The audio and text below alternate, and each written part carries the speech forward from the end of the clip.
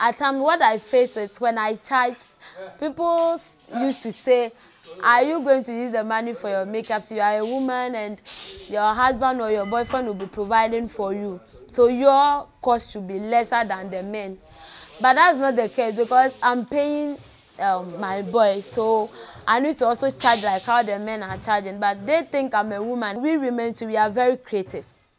And we, we, we always want to do the best out of whatever we want. In a world that is highly marginalized, leaving world leaders and international organizations to effortlessly work at bridging the inequality gap between males and females, our Searchlight has identified a lady, Doris Deku, who in her own way is breaking this glass ceiling. Before we bring her story, remember to subscribe to our YouTube channel. My name is Philip Abutiati and this is Faces of Ghana. I'm Doris Deku. I'm 26 years old and I'm JHS graduate. And I couldn't continue the education because my parents died whilst I was in junior high school. So, and I have one child who is six years old. And from there, from the school, I started selling food at an estate where I saw someone laying tiles and I just liked the way he, he spread the mortar and then laid the tiles. So I went to him and then I asked, can I also be like him? But he told me it's not meant for women. So from there, I take it off from my mind. So I was still selling my food where I met um, this NGO at my area. They came that they are training youth in um, construction. So I asked them, I'm a woman, I want to be a tiler. And they said, yes, that's what they even want most. So that was where I joined the team and then I was trained as a tiler. I had the training intensively for one year and then I also started my own business. That was last year till now. Yeah. When I was in school, I wanted to be an accountant or a businesswoman and or a lawyer. That was the three things I was working up for. But after the senior high, um, the junior high education, I couldn't continue because I lost my parents. So still it was in my mind to be either a businesswoman, lawyer, or an accountant. So, but because I didn't get any support, I need to turn into another thing. That was why I started the food selling, and then now it's like I've achieved the business one because now I'm working on my own and I win contracts on my own and I have people working for me. So I think I've achieved one out of the three.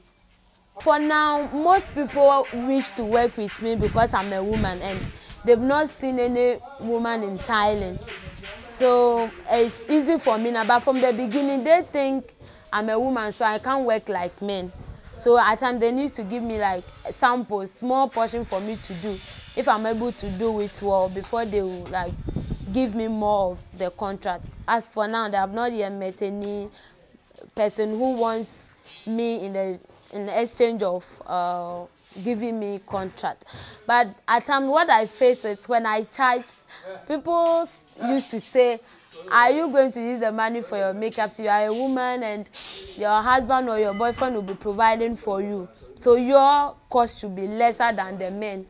But that's not the case because I'm paying um, my boy. So I need to also charge like how the men are charging. But they think I'm a woman and um, my boyfriend or my I'm a woman, so I'll be getting support from elsewhere.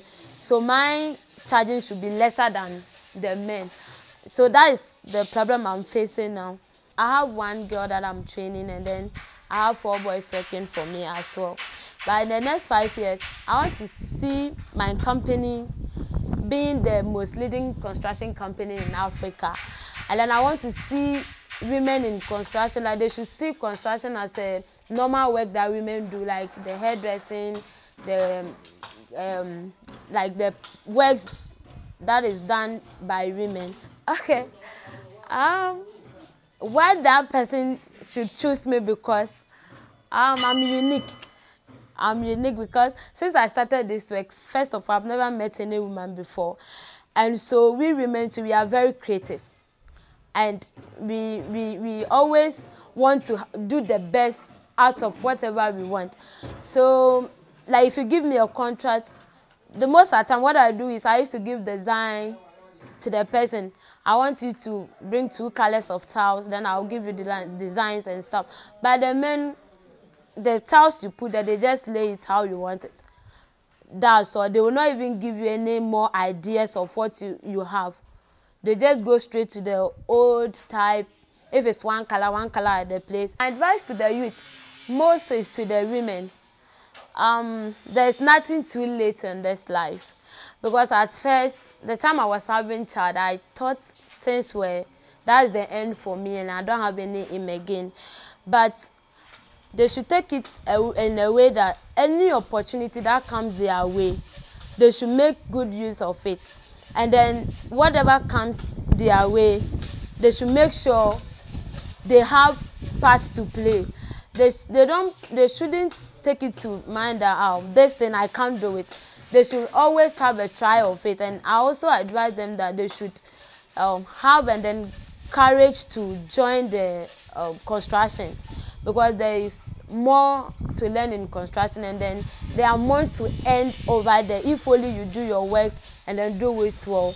Um, my request to the government, I want the government to support us, especially the women, in a way that even at least a year there will be some award winning for women who are able to be in the like the construction sector or, or doing something different to to reduce unemployment in Ghana and also when they are giving contracts to contractors at least 10% of the con should go to we the youth so that we can also be useful to the country as well.